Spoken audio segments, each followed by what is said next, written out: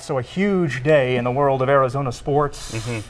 The speed, I think, Matt, is just is just such a shock. This happened so quickly. Yes, it did. It really came to fruition about 24 hours ago when we started hearing rumblings of this possibly happening, and then the confirmation was in by this evening. These coaching searches move so fast. You heard Andy Staples say it. It's kind of how it works in college football. Arizona would not have been able to pony up that 7.75 million per year that Washington's paying Jedd Fisch, and now a new era once again of Wildcats football. The first time a coach has left Arizona without being fired from Arizona football since 1986. So do they regroup? What happens now? It, they have to keep the players, and it starts with Noah Fifita and Tetairoa McMillan.